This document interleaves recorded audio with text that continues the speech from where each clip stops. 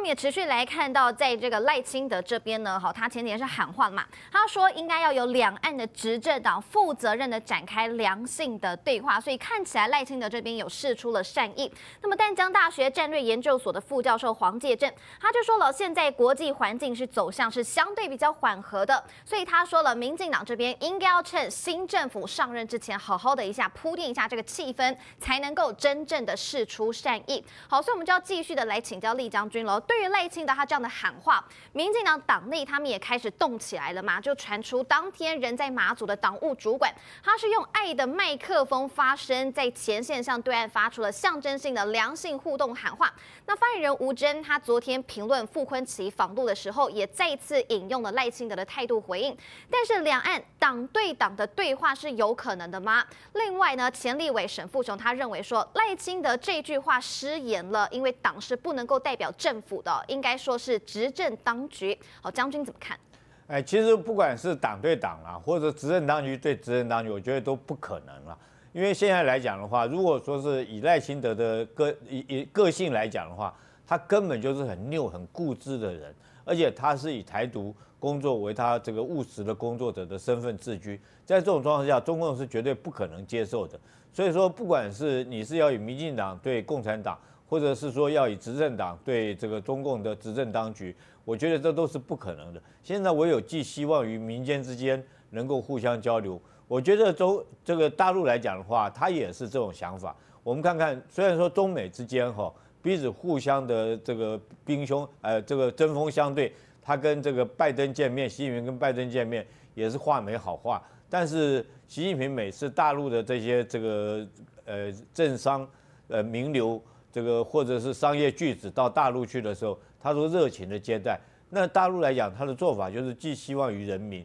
他不寄希望于执政当局，因为执政当局跟人民有时候想法是不太一样的。就像我们现在一样，我们要的是只是一个台湾一个和平，让我们的子孙能够在这块土地上面能够很和平的能够生存下去，让我们能够吃得饱睡得稳，不要担心兵凶战危，不要担心战争。但是。这个政政治人物想的方式是完全跟我们不一样，他想的只是选票，对我怎么样能够当选，我当选之后我怎么样有权利，我有权利以后怎么样来弄钞票，政治人物想的是这个，跟民众想法不一样。那我想这次不管，所以说这个顾立雄讲这些话，不是这个赖清德讲这些话有良性的互动，我觉得那是那是讲空话。那之所以说呃民民进党在马祖的这个党务人员在这个小岛上面。啊，喊这些话哦，用那个喊话机喊那些话，那根本是作秀，那根本他听都听不到。你才几呃隔隔了十几公里，你有什么本事喊那些话？对岸可以听得到，那是喊给鱼听的了。大那个那个马祖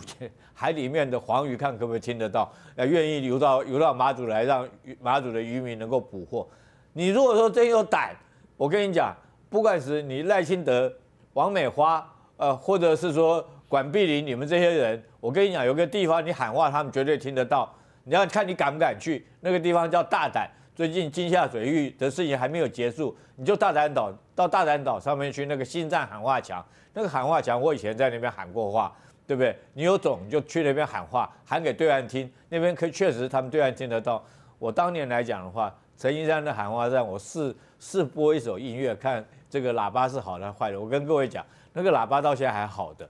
那我播完以后哈，这个对岸，呃，厦门大学透过管道打电话给金门县政府，金门县政府教育局打电话给我，呃，旅长，麻烦你们把收音机关小声一点，我们学生在上课，所以他们绝对听得到。你如果说是管碧林，你真的是要喊话的话，你就到大台岛去用那个新山喊话讲，把它修好，你喊给大陆听。我想这样子还才可以。你既然要作秀，你就作秀做到底，不要作秀做一半，拿个小麦克风。拿个小小小深宫，在这个这个马祖那个地方，距离对岸十几公里，你喊的话真的是没有任何人听得到，你纯粹只是作秀，而且你这个秀只是做给自己老百姓看。你有本事你去作秀，你到大胆岛上面去喊话，我觉得你才我才佩服你，那对岸才真的听得到。第二个，如果说你真心要沟通的话，我建议你下次如果说是立法院，你们民进党自己组个团。对不对？你自己组个团。如果你民间要交流，政府跟政府没办法来往，执政党跟执政党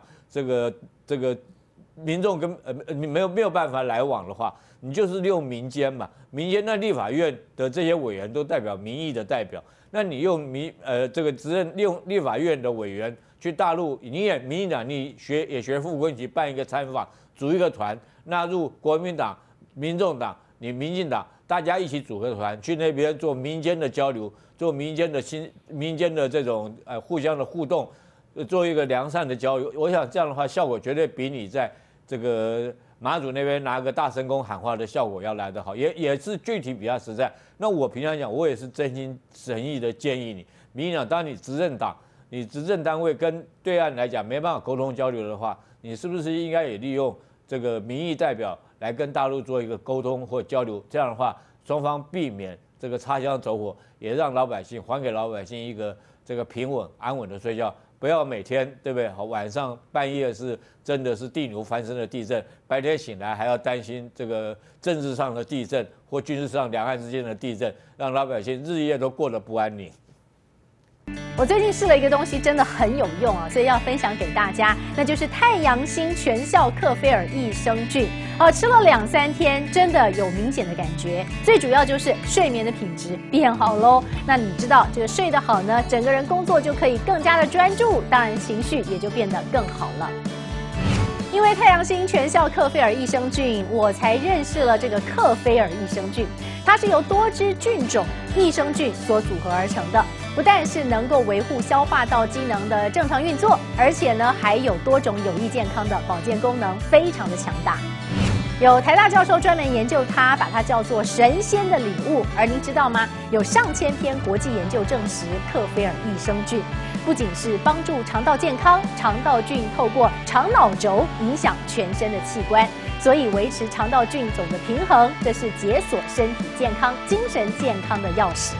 对于帮助睡眠、维持好情绪，真的是很有感。也因为这不是药。有季节敏感、代谢困扰、关心恶性细胞风险的好朋友们，选择太阳星全效克菲尔益生菌，做好日常的保养，身体轻轻松松，没有负担。